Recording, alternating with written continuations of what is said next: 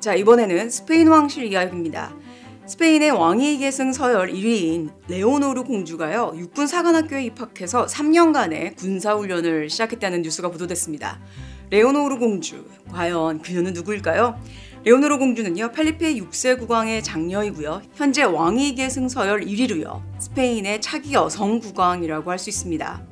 그녀는 15살 때부터 칭호가 여러 가지가 있었는데요.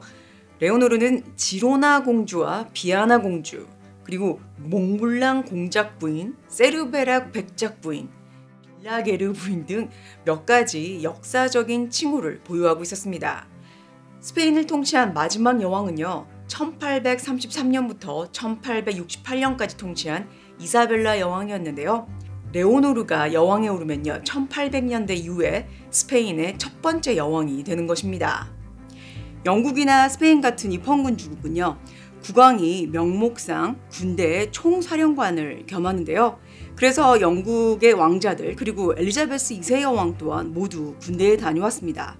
스페인도 마찬가지로 왕족은 의무적으로 군사훈련을 받습니다. 공주라고 해서 예외는 없죠.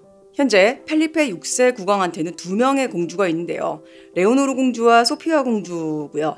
현재 왕비 레티시아가 앞으로 아들을 낳지 않는다면 장녀인 레오노르가 바로 국왕이 될 예정입니다. 레오노르 공주는 최근 영국 웨일스 UWC 애틀랜틱 칼리지에서 2년 동안 고등학교 과정을 마쳤고요. 이번 육군사관학교에서 1년 동안 훈련을 받은 뒤에 후안 세바스티안 엘카노 훈련선을 타는 과정을 포함해서 해군사관학교에서 훈련을 받고요. 마지막 과정으로 제너럴 공군 아카데미 훈련을 모두 마치게 될 예정이라고 합니다. 그러니까 3년 동안 강도 높은 육해공을 모두 훈련받을 예정인 것입니다. 레오노르 공주는 기대도 많이 하는데 긴장이 되기도 한다고 그 심정을 밝혔습니다. 18살이면 우리나라에서는 고등학교 2학년이죠. 아버지인 필리피 육생 국왕은요. 우리는 공주를 많이 응원합니다. 첫날은 힘들겠지만 노력과 인내로 견뎌낼 수 있을 것이라면서 공주를 격려했습니다. 레오노르 공주의 활약뿐만이 아니죠. 그녀의 엄마인 레티시아 왕비 또한 스페인을 위해서 열렬히 뛰고 있습니다. 얼마 전에 여자 월드컵이 호주, 뉴질랜드에서 있었습니다. 이번 여자 월드컵에서 피파 랭킹 6위였었던 스페인이 잉글랜드를 꺾고요. 우승을 차지하면서 여자 월드컵에서 새로운 역사를 썼습니다. 스페인과 잉글랜드 모두 여자 월드컵에서는 결승 진출이 처음이었는데요.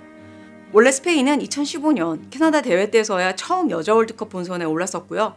2019년 프랑스 대회에서 처음으로 16강을 밟았었는데요. 이번에 정말 처음으로 세계적인 수준의 실력을 보여줬습니다. 이를 축하하기 위해서 스페인 왕비 레티시아는 이 자리에 참석하고 그 자리를 빛내는데요. 영국 왕실에서는 아무도 참석하지 않아서 준우승을 차지한 영국팀에서는 아주 많이 섭섭했을 것으로 보입니다. 여러분들 그러니까 18일에 딸을 군대에 보내고요. 곧바로 스페인에서 시드니로 날라와서 선수들을 응원한 겁니다. 스페인에서 시드니로 비행하는 거 여러분들 쉽지 않습니다. 아마 이 시간을 맞추려면 엄청나게 서둘렀을 것으로 생각이 됩니다. 이렇게 바쁘게 날아다니는 왕비 덕분에 스페인 선수들도 빛이 났고요. 스페인 왕실도 함께 빛난 자리였습니다. 그런데 여러분들 왜 갑자기 이렇게 스페인 왕실이 떠오르는 스타처럼 보이는 것일까요?